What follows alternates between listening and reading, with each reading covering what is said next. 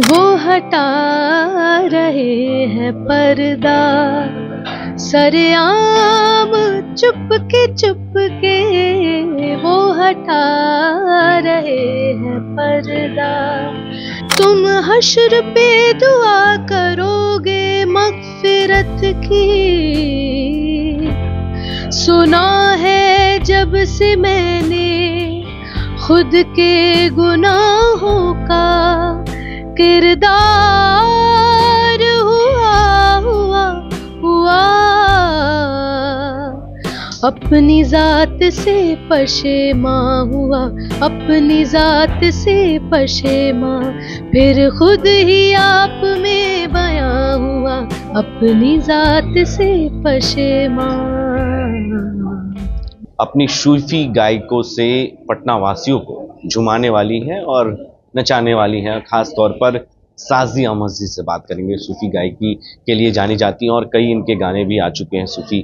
तो इनसे खास बातचीत करेंगे आज देश न्यूज़ पर। खास बातचीत के लिए आपको बहुत बहुत धन्यवाद। Thank you so much thank you so much क्या कार्यक्रम होने वाला है पटना में और किस तरह के कार्यक्रम हैं? पटना में एक सूफी कव्वाली नाइट होने वाली है। एक बहुत ही अच्छा ब्लेंड है कव्वाली और पोइट्री का। विथ विच हमारे साथ बहुत सारे म्यूजिशियंस हैं जो हमारा एक बैंड है। एक यूनिक म्यूजिशियंस का एक बैंड है मुंबई से जो हम सब यहाँ पे आने वाले हैं। पहली बार है ये हमारा एक्सपीरियंस हमारे साथ जब कई कई म्यूजिशियंस हैं जो शायद पटना पहले भी आ चुके हैं और उनको काफ़ी अच्छा लगा यहाँ के कल्चर को देख के। जो म्यूज़िक को इतना सपोर्ट करता है एंटरटेनमेंट में इतना ज़्यादा अपने आप को इंडल्ज इंडल्ज करके रखा है।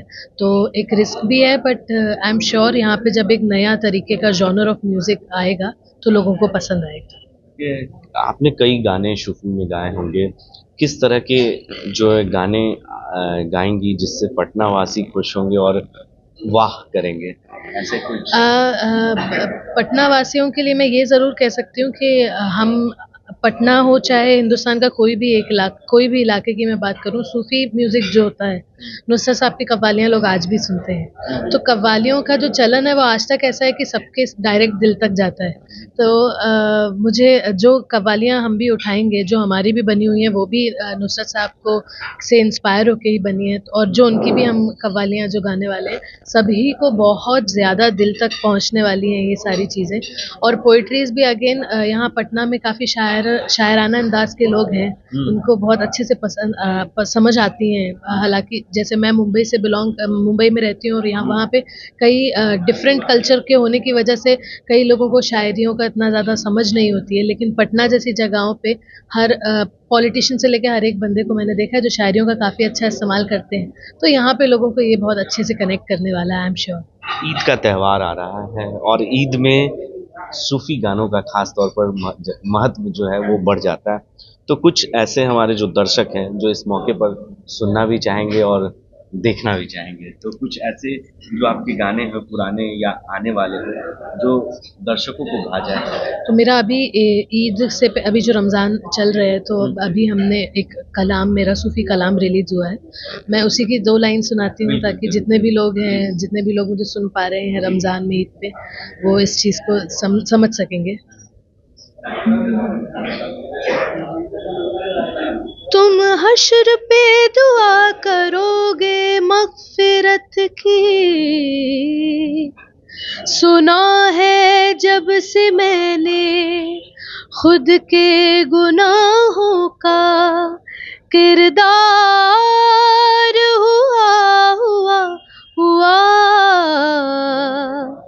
अपनी जात से पशेमा हुआ अपनी जात से पशेमा।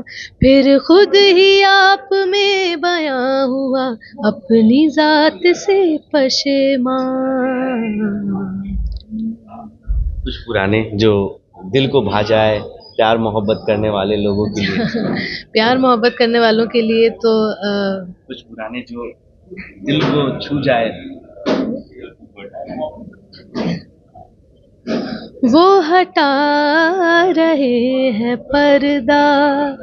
सरेआम चुप के चुप के वो हटा रहे हैं पर्दा। सरेआम चुप के चुप के वो हटा रहे हैं पर्दा।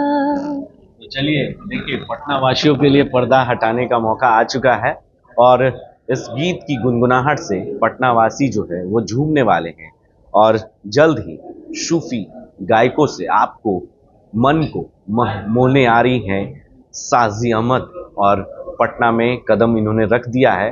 बस इंतज़ार कीजिए, इंतज़ार की घड़ी अब खत्म होने वाली है।